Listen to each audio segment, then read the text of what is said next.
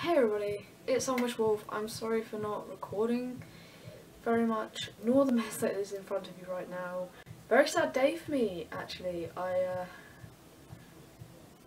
you know, browsing and stuff on the internet, and I come along and find a load of rest in peace messages, um, and, you know, on YouTube and stuff like that, um, to the one and only Christina Grimmie is an inspiration. Um, you know, I always try to sing along to her covers and unfortunately, I think it was Friday, yesterday, uh, she was doing her tour and she was doing signings with some guy, walked up, two guns, shot her, brother tackled him and ended up the gunman shot himself as well. The reasons why, nobody knows because the guy is not alive to tell the story on why.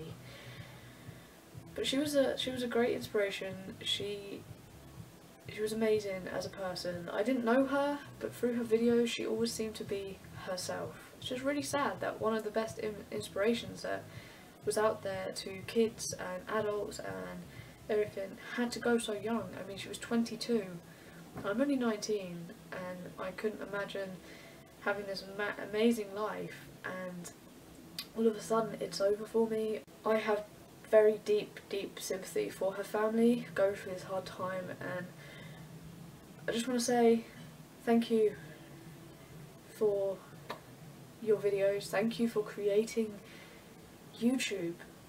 We will always remember you. Thank you for who you were for what you did for us. Just thank you. Big, big thank you. Rest in peace, Christina Grimmie.